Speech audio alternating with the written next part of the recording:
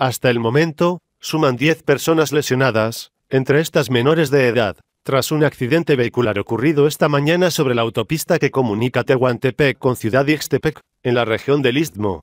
Paramédicos de la Cruz Roja Mexicana, Protección Civil con Policía Estatal y Federal atendieron la emergencia y brindaron apoyo en el traslado de los lesionados a instituciones del sector salud.